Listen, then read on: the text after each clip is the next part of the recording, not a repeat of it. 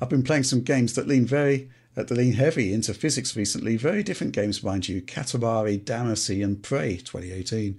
I've always sort of leaned into the argument that the weak CPU in last gen consoles is the reason that physics took a backseat in recent games, but I'm beginning to think that it isn't really true.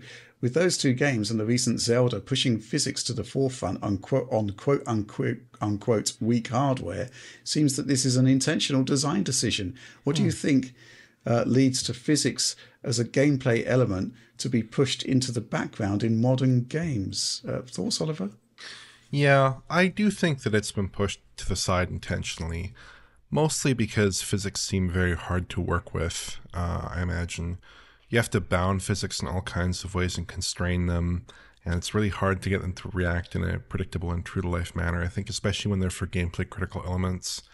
Some of the best physics based gameplay is in the older titles like Half Life 2.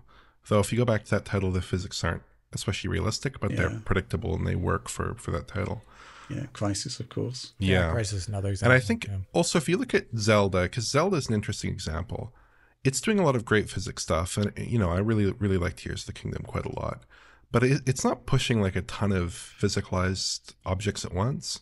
Like in my no. in my gameplay, whenever I tried to play with too many objects and play with physics, uh, the frame rate just crashed. So, you know, it's doing great stuff with physics, but it's not doing like a lot of really number crunchy stuff with tons of physics objects at once. You know, I think I think there is a distinction there when we talk about like a game that uses physics for gameplay versus a game that has just tons of physics everywhere, right?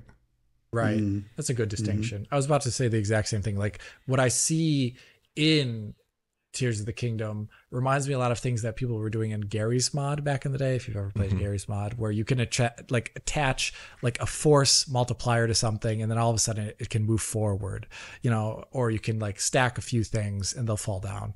Nothing too intense that we haven't seen beyond the Xbox 360 PS3 generation, which is interesting. Why they mentioned Katamari Damacy or I'll go back to Red Faction Guerrilla or just a lot of the old three old PS3 360 era did a lot of this, and I think the the author is correct. I think it, CPU probably didn't help the situation. Definitely for a lot of titles, when they wanted to do something, they would be like, "Man, maybe we can't."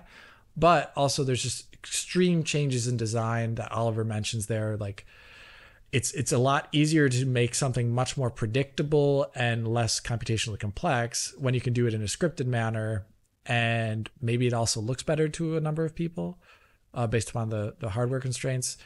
So yeah, it's it's style too. Like games changed in style radically over that Xbox 360 PS3 generation.